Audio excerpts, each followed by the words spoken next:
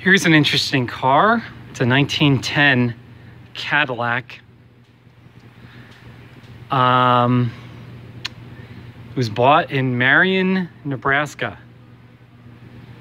And it was used until the year 1916 when it was put in storage.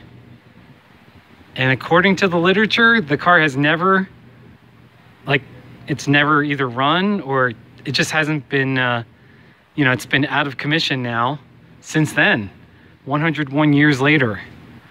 So,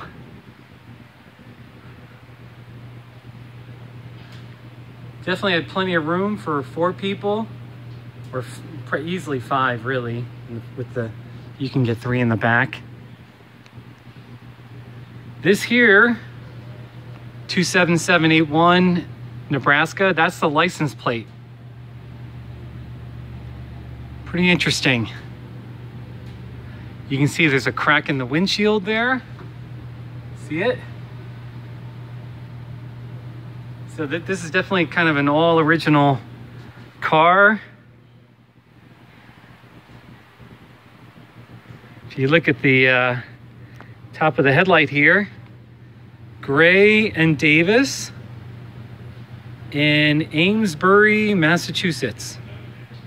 This is made in uh, Massachusetts.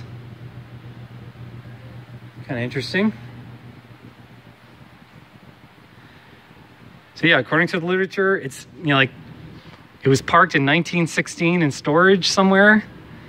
And uh, that was it. Top speed, 50 miles an hour, four cylinder, and uh, $1,600. The 1910 Cadillac was a durable, well-made car and a good seller at the $1,600 price tag. And the original owner was J.E. Dodge, Marion, Nebraska. So, very interesting vehicle.